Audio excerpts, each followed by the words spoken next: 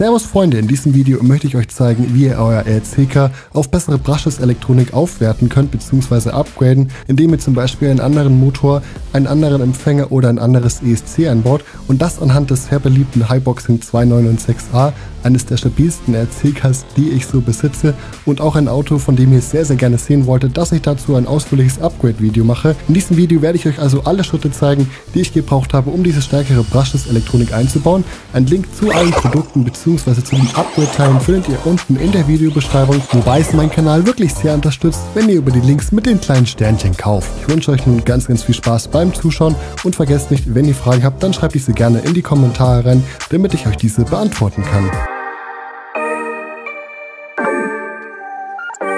Für das Upgrade benötigt ihr, je nachdem welches RCK ihr besitzt, passende Elektronik. In diesem Fall ist es ein 1 zu 10 XS Auto, das heißt wir werden 1 zu 10 Elektronik verwenden. Besonders gut dafür geeignet ist die neue Hobbywing Generation des Max 10. Ich habe hier das Max 10 Gen 3 ESC, das ist übrigens auch ein Sensor ESC mit einem Sensor Motor gepaart.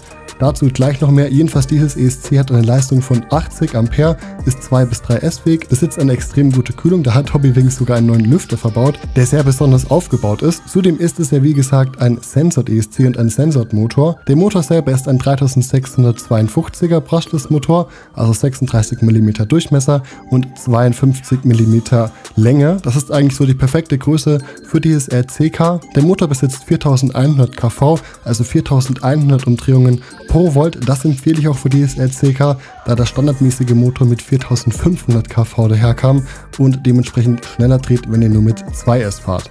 Wie schon gesagt, es ist ja ein Sensored Brushless ESC als auch Sensored Motor, das heißt, es gibt noch ein viertes Kabel. Damit wird das nervige Stottern beim Anfahren von Brushless RCKs extrem gut behoben, das gibt es nicht mehr. Das heißt sozusagen, ihr könnt mit diesem Auto extrem, extrem, extrem langsam fahren und auch sehr, sehr kontrolliert. Das ist definitiv ein Vorteil, ob man das Ganze in einem Basher braucht, sei mal dahingestellt, aber auf jeden Fall ein cooles Feature. Als Ritzel habe ich mir von AliExpress ein 14 Zahn Ritzel bestellt mit einer Ritzelgröße von Mod 0.6 und einer Welle von 3,175 mm. Das besitzt nämlich auch der Hobbywing Brushless Motor. Um die neue Elektronik steuern zu können, benötigen wir auch einen neuen Empfänger. Bei dem standardmäßigen ESC von diesem Highboxing ist ein 2 in 1 ESC verbaut gewesen. Das heißt, dort waren der Fahrtenregler und Empfänger inkludiert also eine 2 in 1 Einheit eben. Das ist mit dieser unabhängigen, deutlich besseren Elektronik nicht mehr so und deshalb braucht ihr einen separaten Empfänger. Dafür habe ich die neue Dumbo RC X6 PM Funke genommen mit einem 6-Kanal-Empfänger von Dumbo RC. Diese Funke ist einfach wahnsinnig gut, extrem günstig, besitzt eine richtig gute Reichweite, fühlt sich sehr, sehr hochwertig an und nutzen noch sehr, sehr viele andere YouTube-Kollegen immer wieder gerne. Außerdem habe ich noch einen neuen Motorhalter gekauft, da ich einfach den alten nicht vom Motor runtergekriegt habe und ein Schraubenkit, das habe ich mir aber einfach ganz generell gekauft, weil ich neue Schrauben gebraucht habe von AliExpress und diese werde ich auch in diesem Building hier verwenden. Hier seht ihr noch einmal alle Teile im Überblick, die ich für dieses Brushless Upgrade verwendet habe. Eine Voraussetzung für den Umbau ist natürlich, dass ihr bereits die alte Elektronik aus dem Highboxing entfernt habt. Dafür müsst ihr einfach die Schrauben hinten lösen. Das zeige ich euch hier noch kurz in dieser Aufnahme. Zudem musst natürlich das ESC aus dem Auto heraus. Das ist unter anderem mit einer Schraube gesichert, als auch doppelseitigen Klebeband. Diese also einfach entfernen und dann mit einem Schraubenzieher unter dieses doppelseitige Klebeband gehen. Dann kriegt ihr das relativ schnell raus. Wie gesagt, den Motorhalter habe ich nicht abbekommen. Deshalb habe ich ja auch einen neuen gekauft, beziehungsweise ich habe den ursprünglichen Motorhalter nicht in seiner vollständigen Form abbekommen, dafür aber diesen kleinen roten Gummispacer, den habe ich auch am neuen Motor montiert. Der Highboxing das bei fast jedem seiner LCKs macht und das bestimmt einen guten Grund haben wird. So Freunde, montieren wir nun den neuen Motorhalter. Interessant dabei übrigens, wir können auch ein 16er Ritzel verbauen. Dafür müsst ihr den Motorhalter einfach nur umdrehen, da ist so eine kleine Zahl drin reingeschrieben, also 14 oder 16 und dann könnt ihr hier auch ein etwas größeres Ritzel verbauen. Würde ich aber tatsächlich eher davon abraten, da ihr mit dieser Combo vor allem auf 3S wirklich ausreichend Power habt. Als Schraube für den neuen Motorhalter habe ich eine M3x12 Hex Schraube genommen und diese mit dem beigelegten Werkzeug von diesem Schraubenkit montiert. Ging alles sehr, sehr entspannt. Ich empfehle euch dabei auf jeden Fall Loctite zu nehmen. Am besten sehr, sehr viel blaues Loctite, das ist ungefähr mittelfest. Wartet da auf jeden Fall auch 24 Stunden, bevor ihr das Auto benutzt, damit das ganze Loctite schön einwirken kann und es auch wirklich schön fest ist. Ich habe einmal den Fehler gemacht und das nicht so getan und mein Ritzel als auch Motorhalter ist extrem schnell wieder locker geworden, einfach weil sich das Loctite noch nicht richtig gefestigt hat. Dabei übrigens ein kleiner Tipp, dreht die Schraube erst ein bisschen ein, dann wieder ein bisschen raus und dann wieder völlig ein. Damit verteilt ihr das Loctite wirklich überall schön und ihr presst das ganze Loctite nicht raus. Von der Richtung des Motors könnte ich hier eigentlich nichts groß falsch machen, denn es gibt dafür eigentlich nur zwei Schraubenlöcher, damit die Kabel oben richtig rausschauen bzw. nicht unten irgendwie komplett verwurstelt sind. Ihr könnt euch dabei orientieren, dass die Kabel einfach nach oben schauen müssen, dann habt ihr die richtigen beiden Motorhalterlöcher gefunden. So Freunde, kommen wir nun zum Ritzel. Da habe ich mich wie gesagt für das 14er entschieden. Glücklicherweise ist bei diesem Ritzel auch ein kleiner Hexschraubendreher mit beigelegt, der perfekt für die kleine Madenschraube passt. Wichtig hierbei, passt auf diese kleinen Schrauben auf, dass die sich nicht schnell durchdrehen. Geht da wirklich mit Ruhe dran, damit ihr euch diese Schraube nicht direkt kaputt macht. Die hält zwar was aus, aber nicht so viel wie andere Schrauben. Völlig egal welche Marke. Bei der Schraube empfehle ich grünes Loctite zu nehmen. Das ist deutlich fester als blaues Loctite und ist sehr geeignet für Ritzel, damit diese einfach nicht locker werden. Dann das kann wirklich richtig ärgerlich werden. Ich habe hier nämlich wieder den Fehler gemacht und erst blaues Loctite genommen. Das Ritzel ist mir dann allerdings innerhalb von kürzester Zeit vom Motorhalter wieder weggerutscht. Deshalb habe ich das Ganze noch einmal ausgebaut und grünes Loctite genommen. Also macht nicht denselben Fehler wie ich und wie gesagt nicht vergessen, lasst das ganze Zeug schön eintrocknen, denn auch das grüne Loctite braucht seine Zeit zum Eintrocknen. Denn wenn euch das Ritzel wegrutscht oder es nicht richtig fest ist, könnt ihr das Ritzel als auch Hauptzahnrad beschädigen, beziehungsweise im schlimmsten Fall rutscht es wirklich ganz weg und ihr habt weder Antrieb noch Bremskraft. Um das Ritzel an die perfekte Position von der Motorwelle anzubringen, damit das Ritzel auch auf seiner ganzen Größe das Hauptzahnrad antreiben kann, empfehle ich den Motor kurz einzustecken in den vorgefertigten Motorhalter vom Auto. Dann könnt ihr schauen, wie lange ungefähr die Welle dahin reicht. Das Ritzel schon mal drauf hinstecken, ein bisschen hin und her bewegen. Die Madenschraube würde ich dabei übrigens schon leicht eingedreht haben mit dem Loctite. Dann bewegt ihr das einfach hin und her, richtet das perfekt aus und zieht die Schraube schlussendlich, wenn ihr die perfekte Ausrichtung gefunden habt, richtig fest. Aber wie gesagt, macht das mit Ruhe und nicht zu schnell. So Freunde, der Motor ist nun montiert. Jetzt müssen wir nur noch die Kunststoffabdeckung wieder daraufhin montieren. Das ist nicht schwer, dafür müssen wir einfach die anderen Schrauben, die ihr euch natürlich zur Seite gelegt habt, wieder eindrehen und dann sind wir auch schon mit dem Motor tatsächlich durch. Übrigens, was mir hier aufgefallen ist, ich habe tatsächlich meinen Motorhalter vorhin nicht fest genug angezogen. Ist mir hier gerade eben auch aufgefallen, der hat ein bisschen rumgewackelt. Deshalb habe ich die Schrauben noch einmal nachgezogen. Also diese Schrauben vom Motorhalter wirklich sehr, sehr fest anziehen und dann seid ihr damit auch glücklich.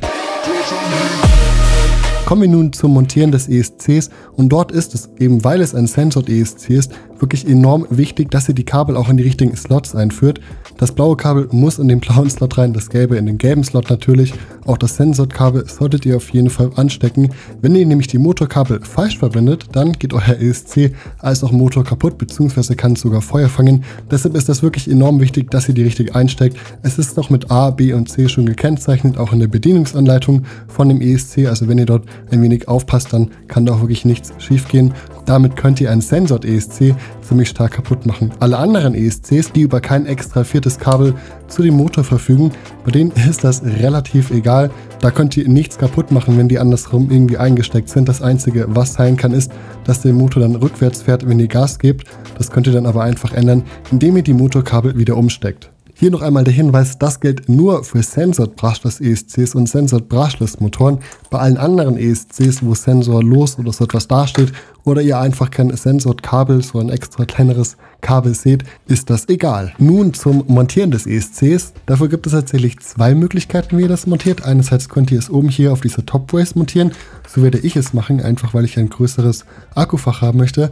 Ihr könnt es aber auch, es wird zwar schwierig, aber es geht. Ihr könnt es auch an den ursprünglichen Platz wieder zurück reinklemmen.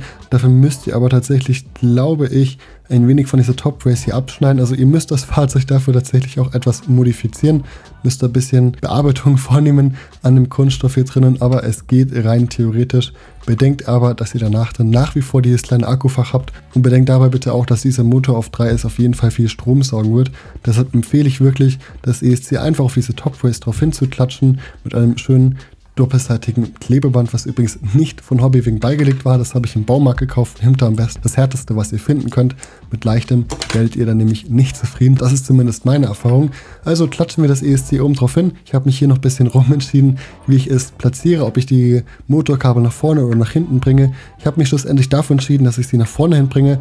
Einfach aus dem Grund, weil dann die ganzen langen Kabel hier nicht so extrem wirr rumhängen. Fand ich sehr einfach schöner aus. Nachdem ich das ESC mit dem doppelseitigen Klebeband befestigt habe und es in einer guten Position ist, habe ich mir noch einen schwarzen Kabelbinder genommen, diese durch den Kühlkörper von dem ESC durchgeführt und unter die Topways von dem RCK, damit das ESC nicht nur durch Klebestoff, sondern wirklich auch physikalisch richtig befestigt ist. Das hatte ich schon einmal bei einem RCK, dass ich das nur mit diesem doppelseitigen Klebeband gemacht habe und bei extrem harten Aufprallen kann sich auch dieses sehr stabile Klebeband tatsächlich lösen. Deshalb am besten noch einen kleinen Kabelbinder nehmen. Der fällt auch nicht negativ optisch auf, denn den sieht man kommen, weil der einfach so klein ist und eben auch schwarz. Stellt sich noch die Frage, wo wir den Powerbutton montieren. Der hat ja ein relativ langes Kabel. Ich habe mich aber letztendlich dazu entschieden, ihn letztendlich an die Außenseite hinzukleben. Ich habe dafür auch etwas die Karosserie noch modifiziert. Dadurch kann man das ESC nämlich einfach von außen schön an- und ausschalten, so wie es auch standardmäßig von Hyboxing gewesen ist. Dafür habe ich einfach doppelseitiges Klebeband genommen und fertig. Den neuen Empfänger, den 6-Kanal-Empfänger von Dumbo RC, habe ich dabei auf den Servohalter montiert. Wieder mit doppelseitigem Klebeband. Das macht meiner Meinung nach einfach am meisten Sinn. Denn weiter hinten kann es durchaus sein, dass ihr da mal die Schrauben öffnet, um zum Beispiel irgendwas nachzufetten und so weiter für das Differential oder das Ritzel tauschen möchtet. Deshalb habe ich das auf das Servo drauf hingeklatscht, denn da ist es eher unwahrscheinlich, dass ihr dort ein neues Servo in naher Zukunft verbauen werdet. Übrigens wichtig, das ist ja ein unabhängiger Empfänger, das heißt, ihr müsst auch das ESC-Kabel hier anstecken. Das ist ja bei dem standardmäßigen Highboxing ESC nicht so gewesen, da war das ja eine kombinierte Einheit, ein 2 in 1 ESC, wo auch der Empfänger integriert ist. Hier ist das allerdings nicht so. In Kanal 1 müsst ihr das 3-Kabel-Servo einstecken. Wenn ihr da ein 5-Kabel-Servo habt, dann müsst ihr euch natürlich ein 3-Kabel-Servo nachkaufen, damit das funktioniert. Gilt für jedes RCK und jeden Empfänger. In den zweiten Steckplatz kommt dann das ESC rein und die verbleibenden sind zum Beispiel für Licht oder Lüfter zu gebrauchen. Zu guter Letzt widmen wir uns dem optischen von der Elektronik. Dafür verpacken wir die ganzen Kabel einfach schön, zum Beispiel mit Kabelbindern oder ihr versteckt das Ganze einfach schön in dem Auto widmen wir uns jetzt noch dem unnötig kleinen Akkufach. Dort habe ich mir tatsächlich ein wenig Inspiration von einem anderen YouTuber eingeholt. Ich blende euch hier einfach mal seinen Namen ein und er ist auf die Idee gekommen, die Akkuhalter von den Arma 3S Modellen zu nutzen. Das fand ich eine echt gute Idee, wollte ich auch so machen. Allerdings ist mir dabei aufgefallen, dass das Akkufach dadurch immer noch nicht deutlich größer ist, beziehungsweise ich keinen WLTOIS 3000 mAh Akku reinbauen konnte. Deshalb habe ich mich dazu entschieden, dieses Teil einfach nur als Spacer zu nehmen und nicht als Akkustrapsenhalter, so wie es der Kollege gemacht hat. Anstelle dessen habe ich einfach einen Teil des Unterbodens aufgebohrt, beziehungsweise dort einen längeren Strich reingebohrt, damit ich dort die Akkustrapsen einfügen kann. Dadurch passt auch ein 3000 mAh Akku rein, was ich wirklich sehr, sehr entspannt finde.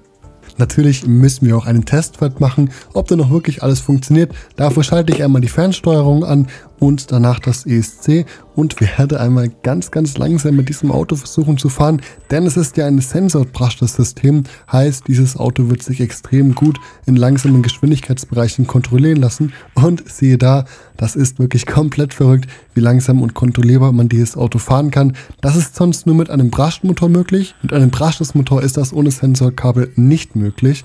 Wirklich sehr, sehr cool. Einen ausführlichen Fahrbericht werde ich in einem separaten Video teilen und auch darauf eingehen, ob man denn überhaupt ein Sensored Brushless System in einem Basher braucht und natürlich aufzeigen, ob der Antriebsstrang auf Dauer 3S-Belastung das Ganze auch aushält. Und so viel schon einmal vorab.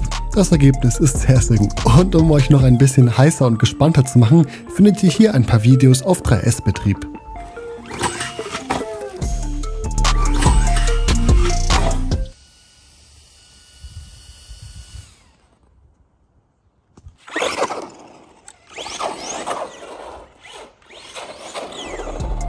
Vielen Dank fürs Zuschauen, Freunde. Ich hoffe, euch hat das Video gut gefallen und bis zum nächsten Mal.